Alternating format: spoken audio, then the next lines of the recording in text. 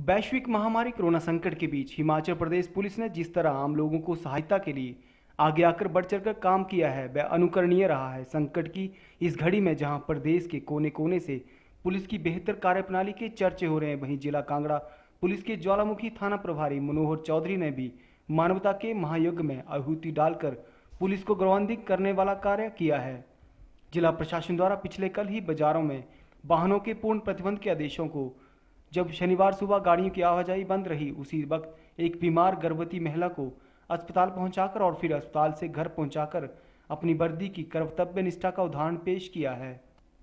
सुबह के समय गश्त के दौरान जब थाना प्रभारी की नज़रें महिलाओं पर पड़ी तो गाड़ी रोककर उन्होंने महिलाओं से पूछा कि वह कहाँ जा रही हैं। महिलाओं द्वारा कारण बताए जाने पर थाना प्रभारी को लगा कि महिला इतनी दूर पैदल चलने की अवस्था में नहीं है। इस पर इस महिला को अस्पताल पहुँचाया गया। बाद में महिलाओं ने थाना प्रभारी को सूचित किया, जिसके उपरांत पुलिस ने अपनी गाड़ी देकर दोनों महिलाओं को घर पहुँचाया। अपने मुलाजमन के साथ सुबह गश्त पर था तो एक औरत अपनी बेटी को, जिसका नाम प्रवीण कुमारी, जो कि गर्भ से है, को लेकर बाज़ार में चली हुई थी। तो मैंने उनको पूछा, क्योंकि वो लड़की चलने में असमर्थ थी? मैंने पूछा कि, आप कहाँ से आ रहे हो? तो उन्होंने कहा कि, मैं जब मेरी बेटी गर्भ से है और इसका अल्ट्रासाउंड करवाना था।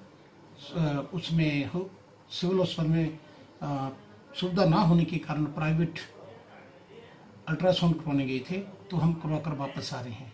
मैंने उसको चलने में असमर्थ होने के कारण अपनी गाड़ी में, पुलिस की गाड़ी में बैठाकर उसको अस्पताल ले गए और वहाँ पर उसको रूटीन चेकअप कराया और उन्होंने उसका जो चेक करने के बाद बताया कि सवा एक बजे के करीब इसकी ब्लड की रिपोर्ट आएगी।